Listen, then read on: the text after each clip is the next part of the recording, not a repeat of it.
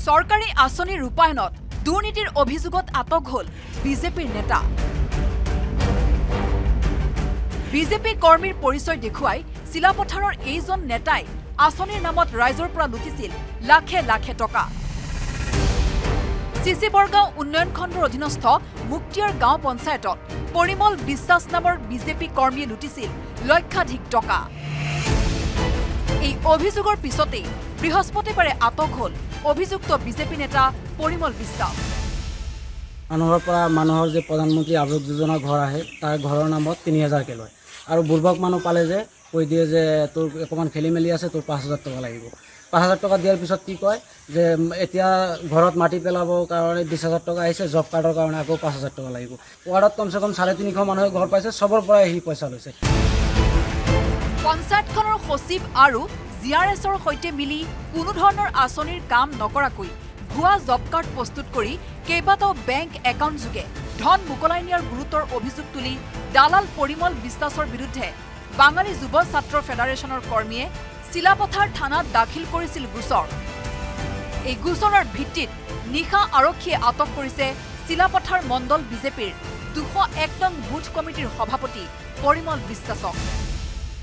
আমি কালি যিজন ব্যক্তিয়ে কামখিনি কৰে দুৰ্নীতিখিনি কৰে সেই মানুহজনক আমি থানাত চমজাই দিছোঁ ধৰি। এইবিলাক কামটো অকলে পৰা নাই পঞ্চায়তৰ প্ৰতিনিধিসকলে আছে জি আৰ এছ বা ছেক্ৰেটাৰী সিহঁতৰ হাত আছে নহ'লে এইবিলাক কেনেকৈ পইচা সি উদ্যোগ কৰিব পাৰিছে? ধেমাজিৰ পৰা Mon Bikash Borgohain news eighteen Assam east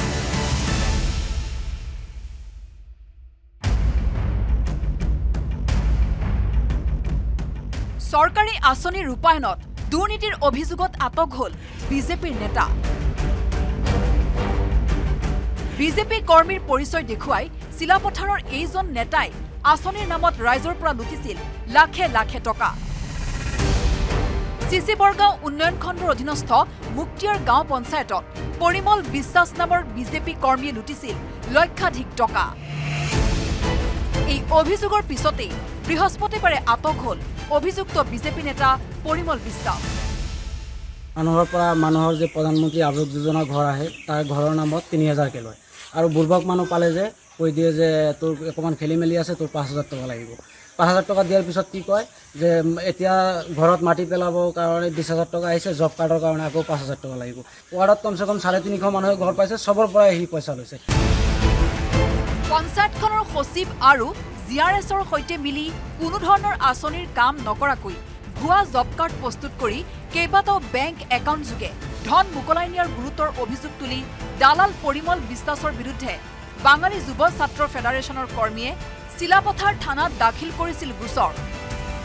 এই গোচৰৰ ভিত্তিত নিশা আৰক্ষীয়ে আটক কৰিছে চিলাপথাৰ মণ্ডল বিজেপিৰ দুশ এক নং বুথ কমিটিৰ সভাপতি পৰিমল বিশ্বাসক।